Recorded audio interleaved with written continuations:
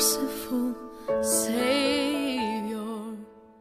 Hello, this is Pastor Tony Morley, Senior Pastor of Greater Grace Church in South London. The body in London, along with Joyce and I, wish to thank you for your prayers so that the power of the gospel will continue to change lives in our great city.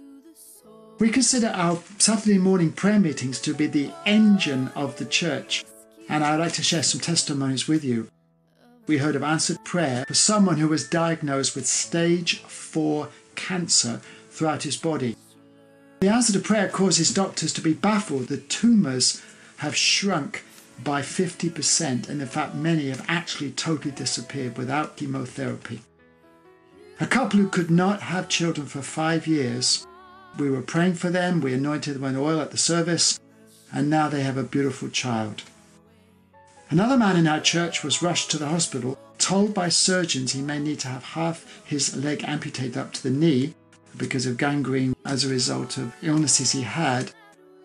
We had much prayer for him, and now he walks with his foot intact, just a little bit of his toe was removed. It's glorious to see the power of the Word of God as we had a recent Bible College graduate who completed his studies in three years whilst holding down two jobs as a father of five children. A few months ago, he helped me to baptize four of his children.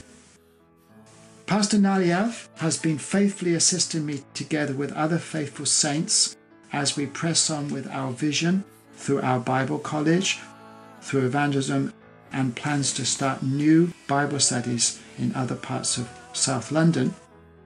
We are very blessed to have Mark Grandjean join us after his season studying at MBCNS. We're asking God for much more fruit through his church here in South London for his glory for such a time as this.